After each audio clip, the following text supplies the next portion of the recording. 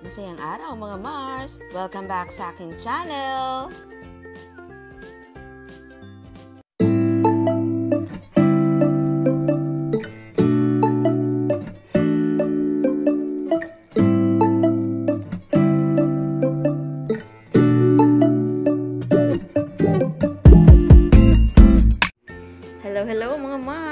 Back sa aking channel!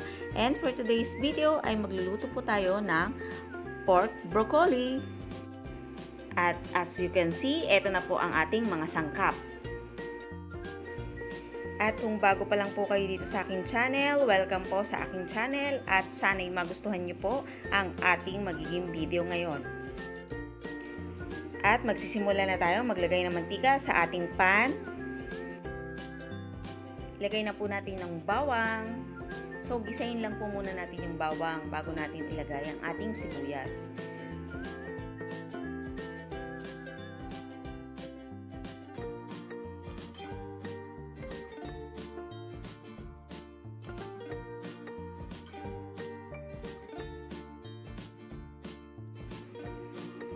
Pag medyo luto na natin yung ating bawang, ilagay na rin po natin yung ating sibuyas.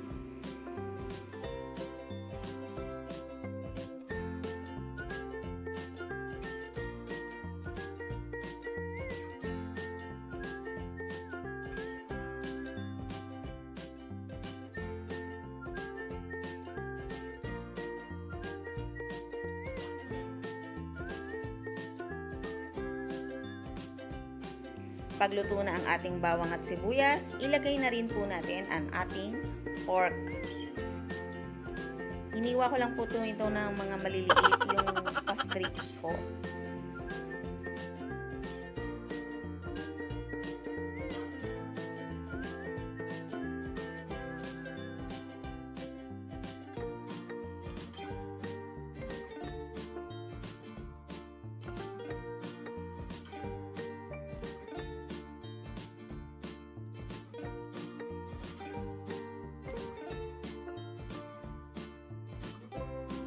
Habang ginigisa natin yung ating baboy sa bawang at sibuyas, lagyan po natin ng pamintang durog.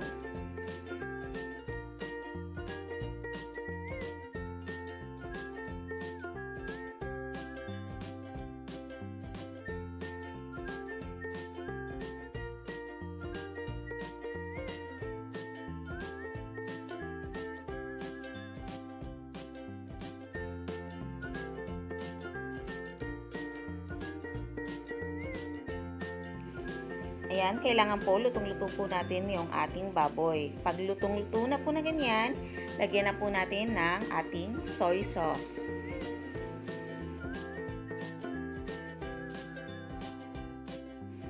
At ilagay na rin natin ang ating oyster sauce. Yung oyster sauce po ang magbibigay ng manamis-namis na lasa dyan sa ating pork broccoli.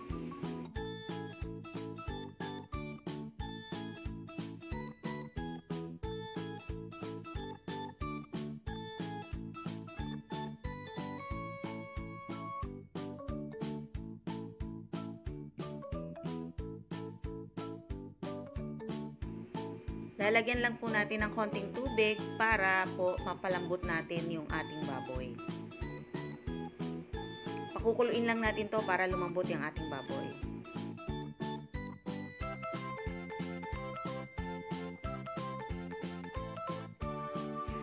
Kapag kumukulo na po ang ating baboy, pwede na po nating ilagay ang ating pang ibang sangkap.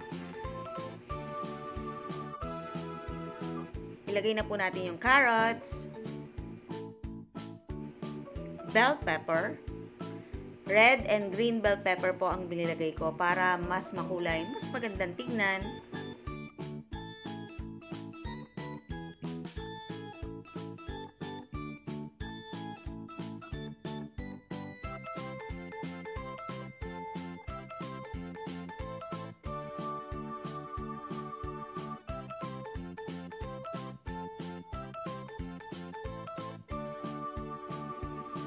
Simmer lang po natin to ng 2 to 3 minutes.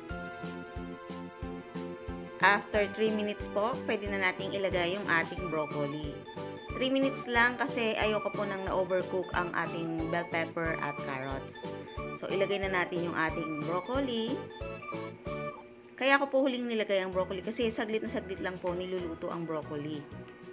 Mas maganda po siya pag medyo crunchy pagkagat mo dun sa broccoli. Sana'y nagustuhan nyo po ang video natin ngayon. Kung nagustuhan nyo po, huwag nyo po sanang kalimutang i-like at i-share ang aking video at mag-comment po kayo dyan sa baba kung ano po ang masasabi nyo sa video natin ito. At huwag nyo na pong magkalimutang mag-subscribe sa aking channel at mag-click ang notification bell para ma-update po kayo sa mga latest video na i-upload ko.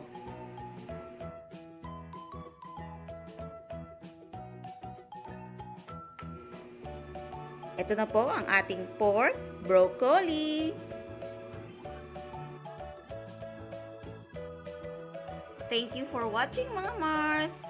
Please like and share this video and please subscribe to my channel and hit the notification bell para ma-update po kayo sa mga latest video na i-upload ko.